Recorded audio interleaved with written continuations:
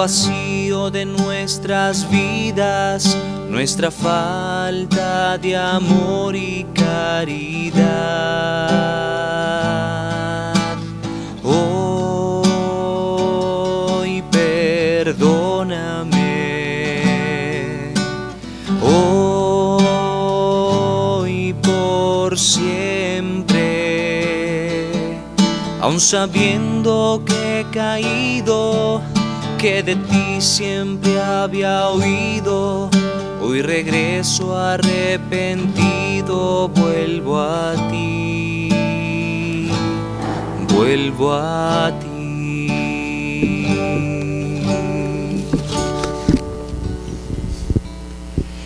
En el nombre del Padre, del Hijo y del Espíritu Santo.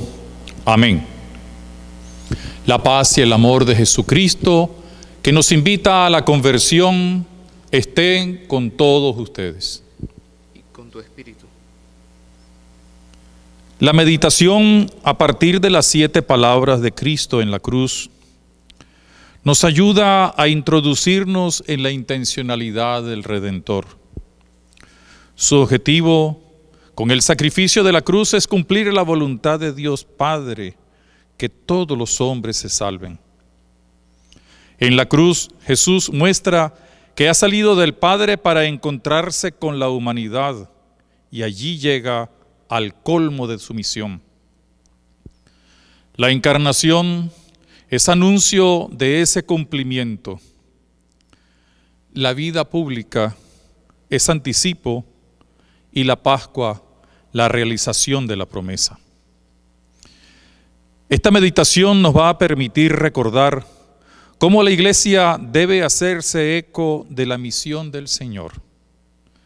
Máxime en este tiempo, en este año de cuarentena social, lo que Jesús en la cruz nos da y nos dice, nos llega al corazón para motivarnos a un compromiso concreto en la realidad que vivimos. No podemos quedarnos escondidos ni asustarnos como le sucedió a los discípulos ante el aparente fracaso de su maestro. Hoy, al experimentar la angustia y los temores ante la pandemia del COVID-19, estas palabras, las de Cristo en la cruz, y su acción redentora nos permiten ir y ver hacia adelante. Les invitamos a escuchar con atención lo que el Señor nos enseña desde su cruz. Les convocamos a poner en práctica esas enseñanzas con los medios de los que disponemos para demostrar que somos una iglesia en salida, que no se encierra ni siente miedo ante la tempestad. Sabemos que Jesús está en medio de nosotros, está en nuestra barca, no duerme. Hoy lo contemplamos aferrado, crucificado en el mástil de esa nave en medio de la tormenta. ¿Y qué tormenta? La de su pasión. ¿Qué mástil? El de la cruz. Te adoramos, oh Cristo, y te bendecimos, que por tu santa cruz redimiste al mundo. Atravesamos un momento difícil en la humanidad. Está siendo atacada por el COVID-19, también lo llamamos coronavirus. Muchos enfermos y muertos han sido causados por esta pandemia. Hay interrogantes y hasta cuestionamientos acerca de la presencia de Dios en la creación. En nuestro país, la crisis sanitaria agudiza la dura realidad que estamos padeciendo todos los habitantes de Venezuela. Una nación con grandes riquezas, pero empobrecida por el afán devorador de quienes se olvidaron del bien común del pueblo. Pareciera que las sombras del pecado del mundo pretenden oscurecer la esperanza y la dignidad de los hombres y mujeres de nuestra nación. En medio de esta crisis ahondada por la pandemia, nos encontramos con dos graves pecados que obstaculizan la buena marcha de quienes quieren transitar las sendas de la justicia y la verdad, los pecados de la corrupción y la mediocridad. Ambos son pecados sociales, sumatorias de tantas faltas de muchos. Ambos, cada uno con sus peculiaridades, son el ámbito hoy del mal y del maligno. Constituyen un freno y una especie de barranco que separa, freno porque aparecen como amenaza para quienes quieren vivir en libertad plena, sencillamente porque oprimen, oprimen a quienes aún siendo mayoría son menospreciados porque practican la verdad, el bien. Y son barrancos que buscan atraer y así seducir a muchos para que caigan en sus hondonadas llenas de miserable perdición. Nos enseña el Papa Francisco que la corrupción es muy difícil, casi imposible de subsanar. En el fondo, porque es la opción por el mal, de diversas maneras asumido, con la caricatura de que es así como la persona se autorrealiza.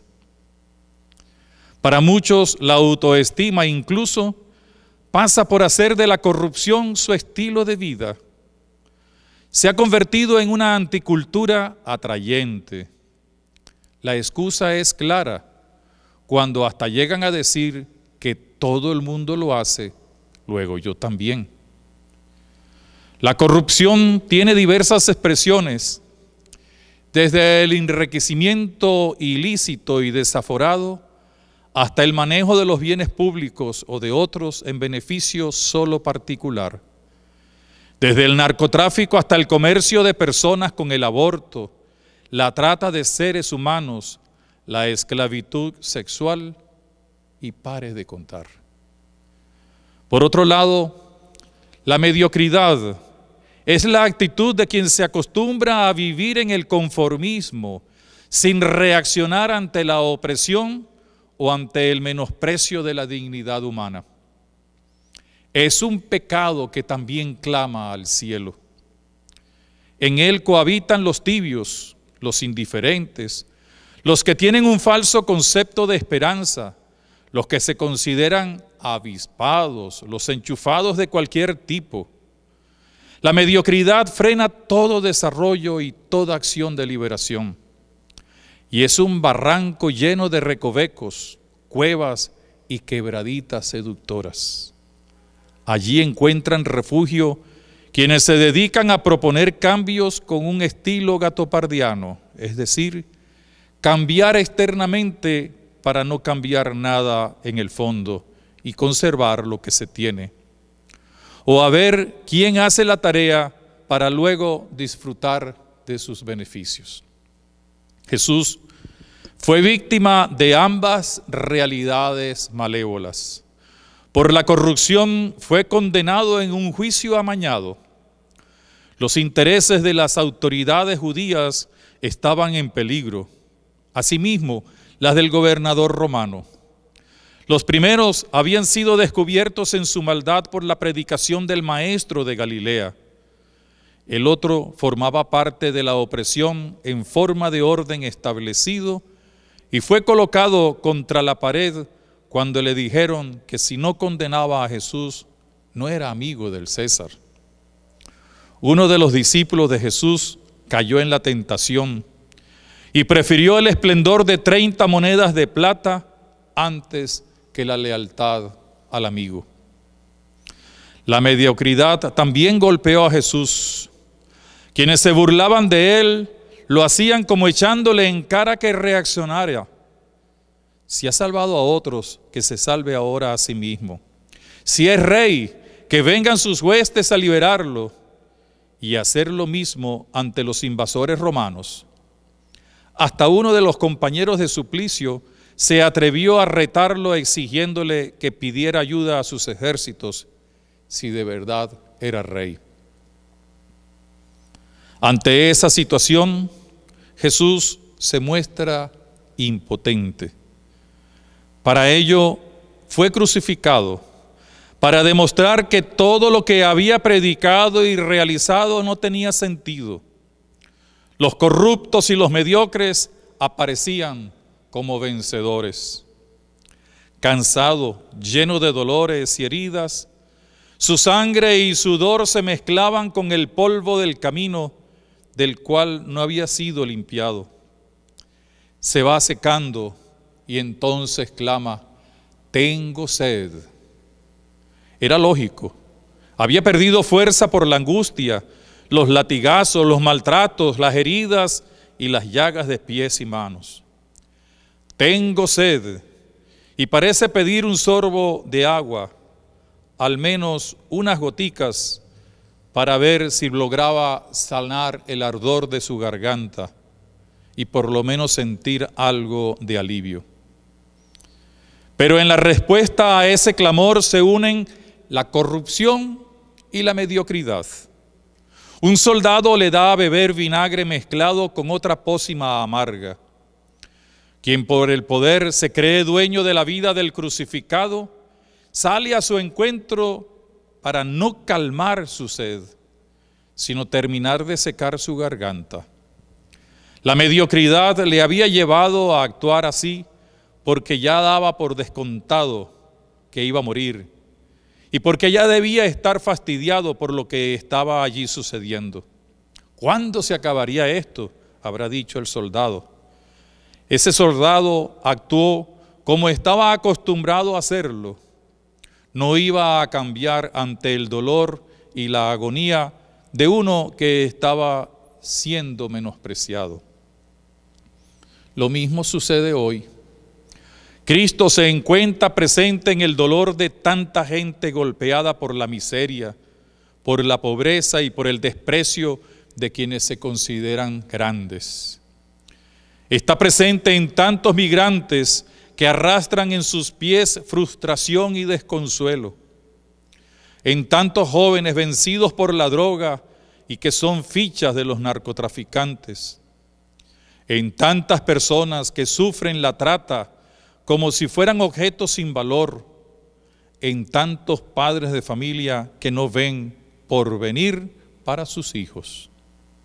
De ellos brota la petición del crucificado, tengo sed. Lo triste es que no reciben el agua que buscan. Les están dando el vinagre del desprecio de los oídos sordos o el ansia de enriquecimiento de quienes comercian con el ser humano, o la indiferencia de quienes podrían auxiliarlos, o sencillamente la indefensión porque no son considerados seres con dignidad. Este clamor del crucificado vivido hoy en no pocas situaciones contra los seres humanos hace experimentar lo mismo que sintió Jesús en la cruz cuando dijo, Dios mío, Dios mío, ¿por qué me has abandonado? Mucha gente pareciera sentir ante los embates de quienes se creen dueños de la vida y de la sociedad que han sido dejados a un lado por Dios. Hasta parecieran tener razón.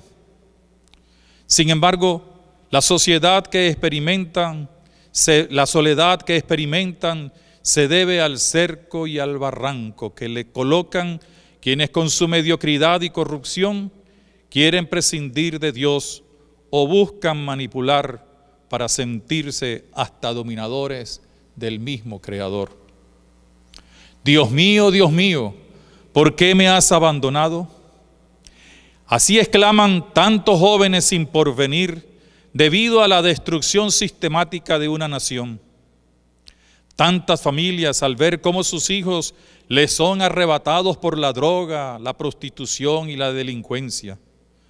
Tantos hermanos que dejando su tierra van a lugares desconocidos a ver si consiguen un mejor tenor de vida que no hayan en su propio país. Pero al igual que el crucificado en su soledad, no se dan cuenta de que Dios no los ha abandonado es que hay quienes los están aislando del mismo apoyo que el Padre le daba a su Hijo, quien en la cruz hacía entrega de su espíritu en sus manos. Las palabras del Papa Francisco el pasado 27 de marzo nos dan una luz para superar esa interrogante que nos golpea a todos. Jesús, lejos de renegar y renunciar a la cruz, terminó abrazándose a ella, porque sabía que allí en la soledad a la que había quedado reducido por la culpa de quienes le condenaron, por el pecado del mundo, allí más que nunca estaba presente el Padre Dios. Lo escuchaba, le recibía su entrega, le sostenía en esa entrega. Citemos al Papa Francisco que dijo estas hermosas palabras. Abrazar su cruz es animarse a abrazar todas las contrariedades del tiempo presente, abandonando por un instante nuestro afán de omnipotencia y posesión para darle espacio a la creatividad que solo el Espíritu es capaz de suscitar.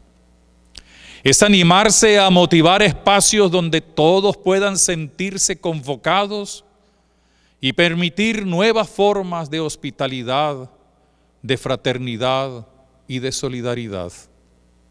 En su cruz hemos sido salvados para hospedar la esperanza y dejar que sea ella quien fortalezca y sostenga todas las medidas y caminos posibles que nos ayuden a cuidarnos y a cuidar. Abrazar al Señor para abrazar la esperanza. Esta es la fuerza de la fe que libera del miedo y da esperanza. Hermosas palabras del Papa Francisco. Jesús no está del todo aislado y en soledad. A los pies de la cruz, con el corazón traspasado por la espada de dolor, se encuentra María. Y la acompaña Juan, el discípulo amado. Más bien, entonces Jesús se preocupa por ella y le dice, mujer, he ahí a tu hijo. Jesús la recomienda al nuevo Hijo, quien representa a la humanidad. Este la recibió desde entonces. Lo mismo ha hecho a lo largo de los siglos toda la humanidad, la iglesia entera. Jesús no quiere que ella sienta la soledad que él vive y por eso le da el apoyo y el sostén de Juan. A la vez Juan representa a la humanidad y a la iglesia tampoco se queda solo y abandonado.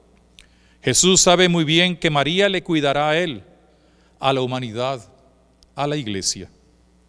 Y nos da el regalo de su maternidad. Hijo, he ahí a tu madre. María se convierte entonces en madre para todos, no con las características de la maternidad biológica.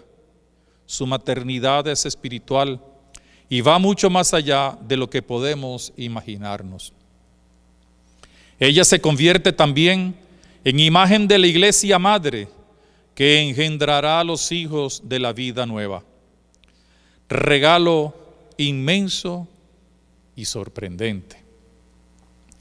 La soledad de este momento debe ser vista con los ojos de la fe. Jesús es despreciado por los prepotentes y aunque siente el abandono del Padre, no está abandonado. Es el mismo Dios Padre quien le saciará su sed de amor al recibir su entrega. Y la soledad compartida con su madre y el discípulo amado hablan desde la respuesta del crucificado, del acompañamiento en caridad y en comunión. Desde aquí podemos contemplar la misión de una iglesia en salida ella, fiel a su misión de anunciar el Evangelio, está lista para ir al encuentro de tantos que gritan, tengo sed. Y no para darle un vinagre amargo, sino el agua que salta hasta la vida eterna. La iglesia debe seguir saliendo al encuentro de los que se sienten abandonados en el mundo y en Venezuela, para darles así el consuelo de su cercanía. Así entonces podrá dar una respuesta a la interrogante de Cristo repetida por muchos hoy. Dios mío, Dios mío, ¿por qué me has abandonado? Y la iglesia no se encuentra tampoco sumida en soledad, está apoyándose en el consuelo de la madre como hija.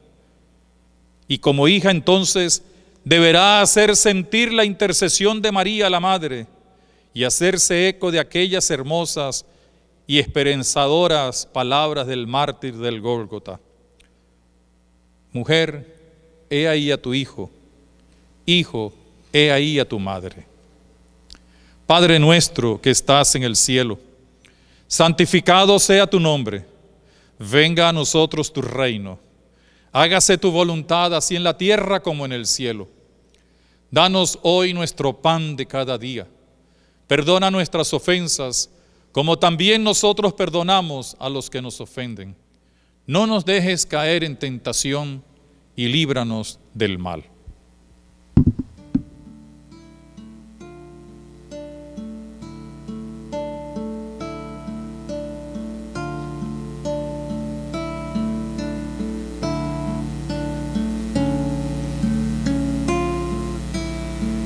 No me mueve mi Dios para quererte.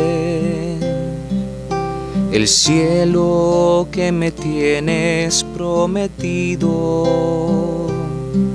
ni me mueve el infierno tan temido para dejar por eso de ofenderte Tú me mueves, Señor, muéveme el verte clavado en una cruz y escarnecido. Muéveme ver tu cuerpo tan herido. Muévenme tus afrentas y tu muerte. Muéveme en tu amor y en tal manera que aunque no hubiera cielo, yo te amara. Y aunque no hubiera infierno, te temiera. No me tienes que dar porque te quiera, pues aunque lo que espero no esperará lo mismo que te quiero, te quisiera. Muéveme en fin tu amor y en tal manera que aunque no hubiera cielo, yo te amara. Y aunque no hubiera infierno, te temiera. No me tienes que dar porque te quiera, pues aunque lo que espero no esperará, lo mismo que te quiero, te quisiera.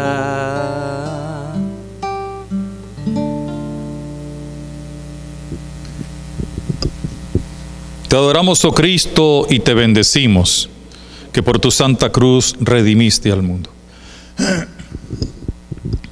Aunque el pecado del mundo se fue abriendo camino en la historia de la humanidad, desde la desobediencia de los primeros padres, Dios no dejó a un lado al ser humano.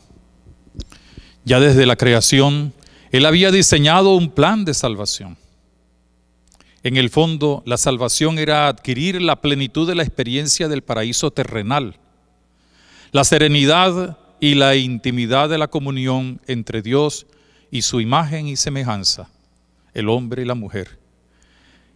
Esa serenidad, esa intimidad, esa comunión se rompió por las insidias del maligno y así comenzó la tragedia del pecado con todas sus consecuencias. Los profetas y los otros escritores sagrados del Antiguo Testamento fueron anunciando que habría una luz, la del Mesías Salvador. Dios se fue manifestando en la historia de la humanidad con la intención de hacer ver que de verdad quería su plenitud, la plenitud de salvación para la humanidad. Un ejemplo importante de ello fue el Éxodo, con la fuerza de su Pascua liberadora. Pero el mejor de todos los ejemplos, insólito ciertamente, inédito, fue el de la encarnación de su Hijo. Dios se hizo hombre con un objetivo concreto, cumplir la voluntad de Dios, que no es otra sino la salvación del mundo. Jesús, a lo largo de su ministerio público, fue anunciando que había llegado para comenzar a cambiar la situación creada por el pecado del hombre. Llegó y cambió la historia. Ahora se comenzaba a definir como la plenitud de los tiempos y así anunciaba un nuevo reino de justicia, de paz y de amor. Abría las puertas para hacer sentir la fuerza del amor misericordioso de Dios. Para ello no solo predicó el perdón, sino que lo puso en práctica. Ese perdón era garantía de que sí se podía hacer la transformación interna necesaria en el ser humano. Para ello Jesús hacía una invitación concreta. Conviértanse y crean en el Evangelio, ya que el reino de Dios está presente. En la cruz casi al final de lo que muchos considerarían su carrera frustrada de maestro y de guía religioso, Jesús retoma con la decisión del buen pastor lo que había anunciado. Entonces, de manera también insólita, ante sus torturadores y acusadores, no pide clemencia, sino que aboca por ellos. Padre, perdónalos porque no saben lo que hacen.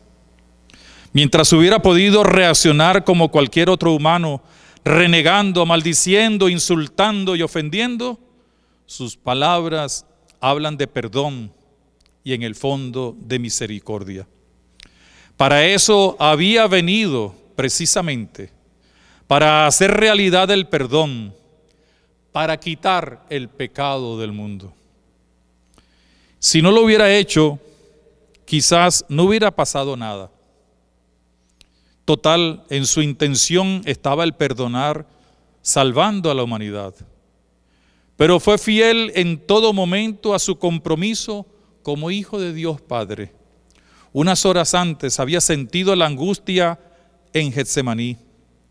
Ahora, al beber el cáliz que le ofrecía el Padre, lo hacía en sintonía con su contenido. Padre, perdónalos porque no saben lo que hacen. Es probable que muchos no encontraran significado a esas palabras en aquel momento. Pero sí hubo al menos uno, el ladrón que estaba a su derecha crucificado. Pareciera que en aquellos últimos momentos hubiera entendido la invitación de Jesús a convertirse y se atreve a dar el paso. Señor, acuérdate de mí cuando estés en el paraíso, en el reino. Y la respuesta no podía ser otra. Hoy estarás conmigo en el paraíso. Para eso había venido al mundo el Señor. Entonces Jesús demuestra que lo del perdón era en serio, es en serio. No elimina las responsabilidades con las que hay que cambiar, pero sí hace presente la fuerza del perdón y el cambio que se deduce de Él. Hoy, no mañana o dentro de unos días. Hoy Jesús, esa palabra la asocia con su entrega a la pasión. Ya no hay ayer ni mañana, es el hoy de Dios, de su entrega y de la apertura al paraíso. Y no se trata de un mero consuelo, el buen ladrón no entrará solo, sino de las manos de Jesús. Hoy conmigo le asegura el crucificado. Termina así revelándose como el Dios de la vida que vino a buscar a todos para llevarlos al redil de la plenitud del encuentro con el Padre. Este redil tiene un nombre que fue anunciado en el Salmo 23. Tiene un nombre que es el lugar de donde fueron expulsados Adán y Eva, el paraíso. Hoy estarás conmigo en el paraíso. Hoy el mundo está lleno de oscuridades porque se ha olvidado del perdón y porque ha creado falsos paraísos. Hoy no faltan quienes se acercan a Jesús como aquel buen ladrón, sin temor ni curiosidad, sino más bien con la actitud sencilla y abierta de quien se convierte y le vuelven a decir, acuérdate. La gente de buena voluntad y los miembros de la iglesia deben hacer eco de esas palabras de entonces, dar acogida para decir en nombre de Jesús, hoy estarás conmigo en el paraíso.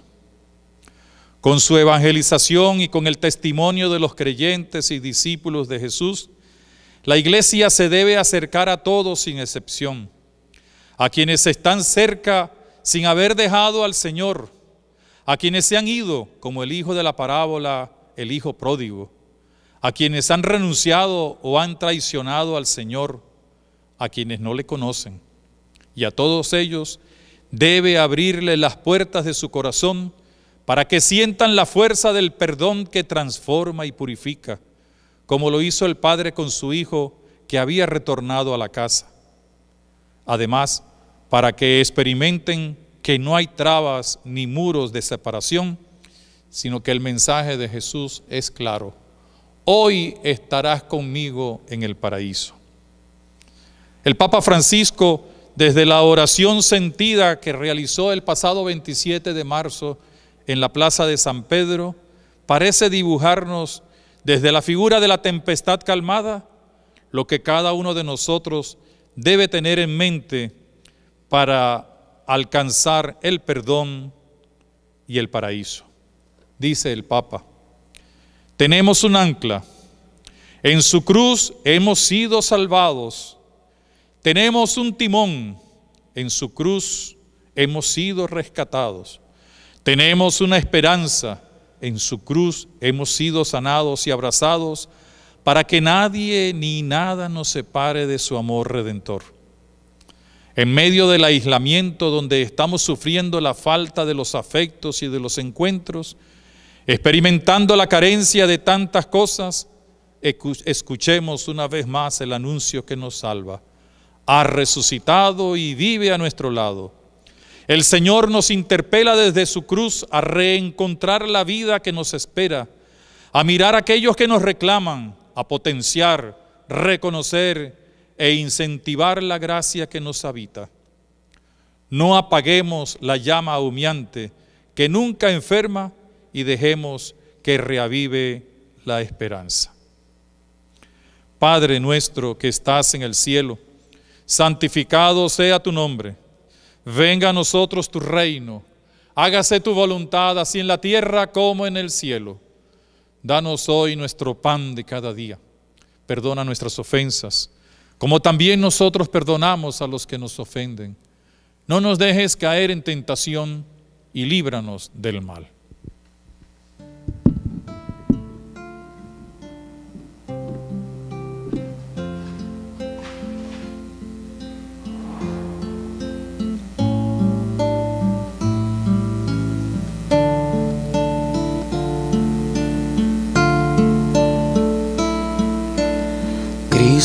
Por nosotros se sometió incluso a la muerte y una muerte de cruz.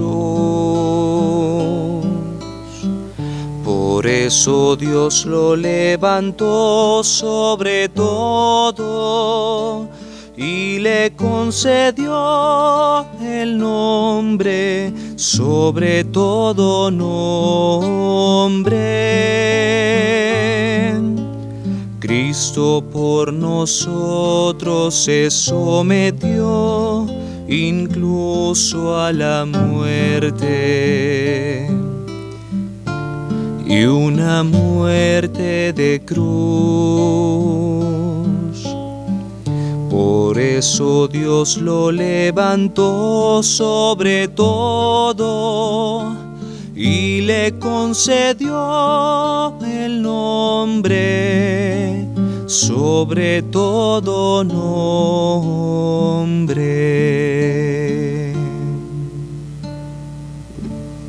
Te adoramos, oh Cristo, y te bendecimos, que por tu santa cruz redimiste al mundo. Cuando contemplamos el crucifijo y vemos a quien está allí clavado podemos sacar una conclusión. En Cristo la misión está cumplida. Muchas veces nos fijamos en algunos íconos que nos iluminan en este sentido.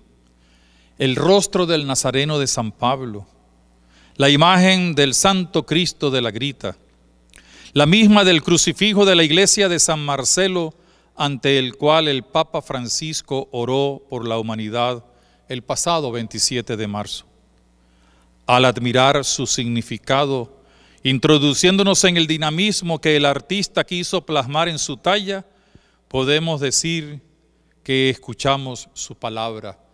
Todo está cumplido. Sí, todo está cumplido.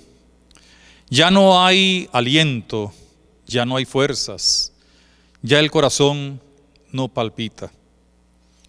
Para colmar la escena, el soldado lo traspasa con la lanza y brota de su corazón un poco de agua y de sangre. Todo está cumplido. Ya no hay vuelta atrás, se hace realidad el hoy de Dios, que consoló al buen ladrón dándole razón ahora de su esperanza.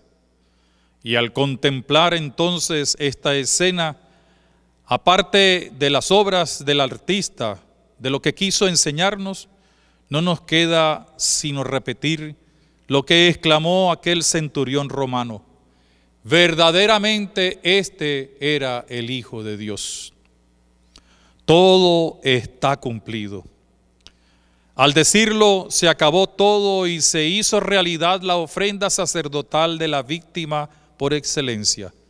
En tus manos, Padre, encomiendo mi espíritu. El Cordero Pascual inmolado para la nueva alianza se coloca en las manos del Padre. Y éste lo recibe como ofrenda para restaurar el paraíso, para dar inicio a un hoy eterno que se iluminará día después con la gloria de la resurrección. La misión se cumple cuando se concreta la entrega de la ofrenda. Ya no se necesitan machos cabríos ni corderitos. Estamos ante un nuevo Cordero, el de Dios, el Dios mismo desde su humanidad, que entrega su cuerpo para la salvación y que derrama su sangre para sellar la nueva alianza. El hoy que Jesús le prometió al buen ladrón se hace realidad. Todo está cumplido, ya que Jesús ha puesto su espíritu en las manos de Dios Padre. Cada uno, como miembro de la iglesia, al participar de su misión evangelizadora, al celebrar los misterios de la fe, al poner en práctica la caridad operante, siente el imperioso deber de salir al encuentro de los demás. Será la única manera de que los otros puedan conocer y experimentar las consecuencias de esas palabras de entrega y sello de una nueva creación. Sin miedo, anunciando a tiempo y a destiempo la verdad que libera, la iglesia con cada uno de sus miembros debe hablarle al corazón a quienes se han encerrado, como decimos en Venezuela, se han enconchado en la corrupción y en la mediocridad. También para ellos hay la posibilidad de la conversión y de ser bañados por la misericordia de Dios. Solo tienen que dar el paso. Ellos deben recibir la invitación a convertirse para poder llegar a compartir la alegría del perdón y de la salvación.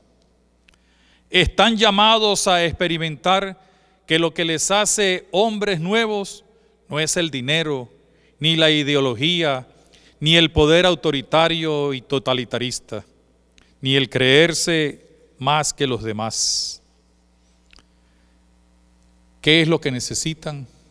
La humildad del buen ladrón, que se arriesga a pedir un recuerdo para entrar en el reino. Acuérdate de mí. O la de María, que calma su dolor con el amor del nuevo Hijo, representando en ella y en él esa relación de madre con la humanidad, de madre con la iglesia. La iglesia debe hacerse eco del todo está cumplido, para despertar a los corazones dormidos por la tibieza y la mediocridad. Solo así podrán reaccionar como lo hiciera el centurión romano con su profesión de fe en el Hijo de Dios. La iglesia debe ayudar a entender que no hay soledad, ni hay silencio ensordecedor como lo pretenden experimentar los mediocres. Francisco pronunció, como ya lo hemos dicho, unas palabras hermosas el pasado 27 de marzo. Hacía referencia, como bien lo sabemos, al episodio de la tempestad calmada. Pero resuenan llenas de esperanza esas palabras para quienes se han entrampado en su mediocridad y prefieren esconder sus cabezas como lo hace el avestruz, en vez de arriesgarse a un camino de conversión. Nos dice el Papa, el comienzo de la fe es saber que necesitamos la salvación. No somos autosuficientes, solo, solos nos hundimos. Necesitamos al Señor como los antiguos marineros las estrellas. Invitemos a Jesús a la barca de nuestra vida. Entreguémosle nuestros temores para que los venza. Al igual que los discípulos, experimentemos que con Él a bordo no se naufraga, porque esta es la fuerza de Dios. Convertir en algo bueno todo lo que nos sucede, incluso lo malo él trae serenidad en nuestras tormentas, porque con Dios la vida nunca muere. ¿Y por qué la vida nunca muere? Porque todo está cumplido. Y el Redentor ha encomendado su espíritu en las manos del Padre. Por eso hay razones y motivos suficientes para experimentar también lo que escuchó el buen ladrón. Hoy estarás conmigo en el paraíso. Sencillamente, porque también siempre se puede escuchar aquella palabra, Padre, perdónalos porque no saben lo que hacen. Quienes están sumergidos en la mediocridad, grave pecado de nuestro tiempo y aquí presente en Venezuela, han de cambiar y no encerrarse como el hijo mayor de la parábola del hijo pródigo. Hay que vencer la soberbia y la prepotencia para poder experimentar las consecuencias del todo está cumplido. La historia no se va a concluir con el descendimiento de Jesús desde la cruz. La historia más bien se abre a un futuro real donde el hoy de Dios se lanza a la eternidad y habrá una garantía. Ya el sepulcro no tiene la laja que lo cierra. El sepulcro está vacío porque para terminar de cumplir su misión, Jesús resucita y nos, precede a todos en las Galileas de nuestras existencias. Él va siempre adelante para guiarnos, con la ayuda de la iglesia, hacia los pastos fértiles de la salvación, de donde compartiremos el banquete del reino.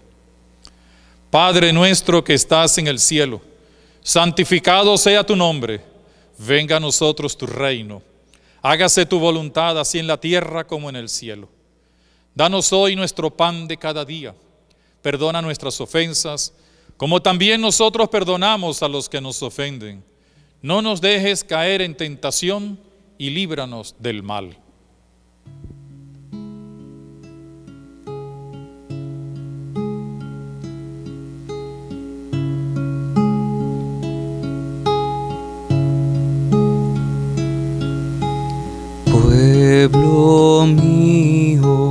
¿Qué te he hecho? ¿En qué te he ofendido?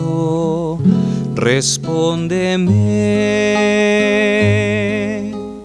pueblo mío, ¿qué te he hecho? ¿En qué te he ofendido? Respóndeme. Yo te saqué de Egipto, tú preparaste una cruz para tu Salvador.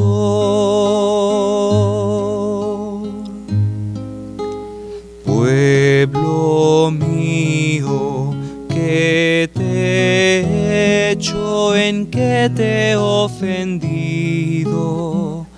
Respóndeme, pueblo mío, ¿qué te he hecho? ¿En qué te he ofendido? Respóndeme.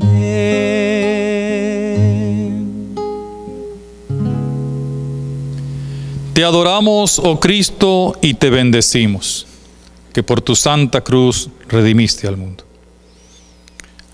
Al llegar al final de esta meditación, demos gracias a Dios porque sus palabras iluminan nuestra vida. El Papa Francisco, en aquella tarde memorable del pasado 27 de marzo, nos dijo lo siguiente. La tempestad desenmascara nuestra vulnerabilidad y deja al descubierto esas falsas y superfluas seguridades con las que habíamos construido nuestras agendas, nuestros proyectos, rutinas y prioridades. Nos muestra cómo habíamos dejado dormido y abandonado lo que alimenta, sostiene y da fuerza a nuestra vida y a nuestra comunidad. La tempestad pone al descubierto todos los intentos de encajonar y olvidar lo que nutrió el alma de nuestros pueblos. Todas esas tentativas de anestesiar con aparentes rutinas salvadoras, entre comillas, incapaces de apelar a nuestras raíces y evocar la memoria de nuestros ancianos, privándonos así de la inmunidad necesaria para hacerle frente a la adversidad palabras ciertas de Francisco con las cuales podemos concluir la meditación partiendo de las siete palabras del crucificado. Hoy no podemos dejarnos vencer por la tempestad. El Señor está en nuestra propia barca y no va a permitir que nos hundamos. O como le sucedió en otra ocasión a los discípulos, que al verlo venir en la oscuridad sintieron miedo y la respuesta de Jesús fue directa y clara. Soy yo, no tengan miedo. En estos tiempos de la pandemia, de esa crisis que pareciera eliminar lo poco que queda de nuestra nación, la confianza en Jesús es fuerza liberadora. Nos toca a nosotros confiar en Él, como lo hizo Pedro con sus condiscípulos al preguntar, Señor, ¿a quién iremos? Solo tú tienes palabras de vida eterna. Estar con Jesús no significa resignarnos. Conlleva saber que Él está con nosotros, pero a la vez poner nuestro granito de arena, tomar nuestra cruz y seguirlo, y así hacer realidad el amor fraterno, lleno de solidaridad, de comprensión, paciencia y reconciliación. Solo así nos podrán reconocer como sus discípulos. Para ello contamos con la fuerza del Espíritu Santo. Al conjugar el esfuerzo con la gracia de Dios, podremos decir, no soy yo quien vive, es Cristo quien vive en mí, porque sabemos en quién hemos puesto nuestra confianza. La Semana Santa no termina hoy con el Viernes Santo llegó a su culmen con la Pascua que celebraremos el próximo domingo. Así celebraremos el triunfo del Cordero de Dios, Seremos reflejo de la luz del paraíso donde ingresó el buen ladrón, fruto del perdón y consecuencia del todo está cumplido. Desde las palabras pronunciadas por el crucificado, abrámonos de manera permanente a la palabra hecha carne, la palabra de salvación, para transformarnos y ayudar a otros a dejarse tocar por esa fuente de cambio, el Señor Jesús, en cuyo nombre actuamos. Padre nuestro que estás en el cielo, santificado sea tu nombre, venga a nosotros tu reino, hágase tu voluntad así en la tierra como en el cielo. Danos hoy nuestro pan de cada día. Perdona nuestras ofensas, como también nosotros perdonamos a los que nos ofenden. No nos dejes caer en la tentación y líbranos del mal. Y a María, que estuvo a los pies de la cruz, a María, que estuvo en la gruta de Belén, a María, que estuvo en la casa de la resurrección con María que está a nuestro alrededor, está como intercesora, le pedimos escuche nuestra plegaria por nuestro país, por el mundo, para que sea liberado de esta pandemia. Por eso decimos, Dios te salve María, llena eres de gracia, el Señor es contigo, bendita tú eres entre todas las mujeres, y bendito es el fruto de tu vientre Jesús. Santa María, Madre de Dios, ruega por nosotros pecadores, ahora y en la hora de nuestra muerte. Amén. El Señor esté con ustedes. Y la bendición de Dios Todopoderoso, del Padre, del Hijo y del Espíritu Santo, descienda sobre ustedes y les acompañe siempre. Amén.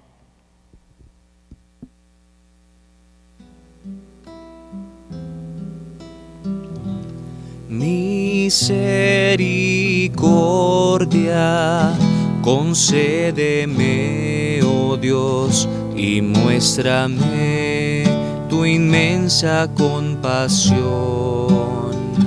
De todo corazón te pido el perdón de mi delito, límpiame, Señor.